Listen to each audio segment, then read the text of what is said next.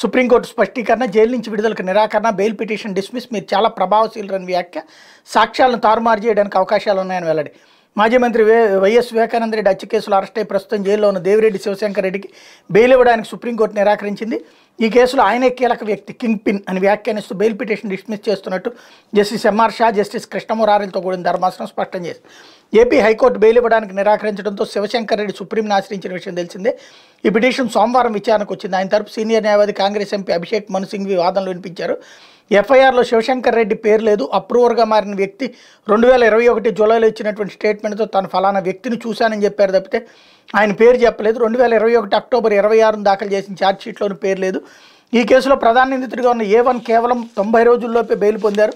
శివశంకర్ రెడ్డి నుంచి ఎవరో డబ్బులు తీసుకున్నట్టు ఎవరి మాటల ద్వారానో తాను విన్నట్టు చాలా రోజుల తర్వాత చెప్పినటువంటి కాన్సెప్ట్ మీదనే ఇలా చేస్తారంటే హైకోర్టు ఇచ్చినటువంటి తీర్పులో ఈయనే కీలకమైనటువంటి విషయం తేలింది కాబట్టి విడిచిపెట్టాల్సిన అవసరం లేదంటూ హైకోర్టు తీర్పుని సమర్థిస్తూ సుప్రీంకోర్టు కొట్టివేసింది. ఇకపోతే